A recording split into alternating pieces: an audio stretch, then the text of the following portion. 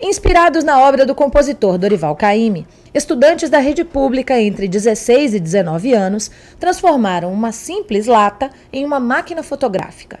O resultado foi uma verdadeira mistura de arte e tecnologia, revelando uma Bahia sob a ótica jovem. Acabou me deu uma oportunidade assim de conhecer um curso que eu achava que eu não, não teria assim capacidade de desenvolver ou então não teria dinheiro para poder pagar um curso desse. O curso de fotografia é muito caro. Aí foi minha, minha primeira opção, assim que eu me inscrevi no curso, eu me inscrevi em fotografia e agradeço muito a Cabum, porque ela está fazendo subir um pódio a mais na minha vida.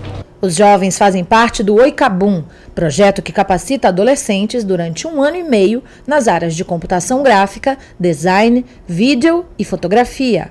Fruto de uma parceria entre o Oi Futuro e o Estado, o programa completa cinco anos este mês com uma nova sede no Terreiro de Jesus, aumentando as oportunidades de aprendizado para os jovens. Nós estamos agora, em parceria com a Secretaria de Cultura, fazendo um projeto chamado Pelourinho Digital, focado em jovens moradores aqui do Centro Histórico.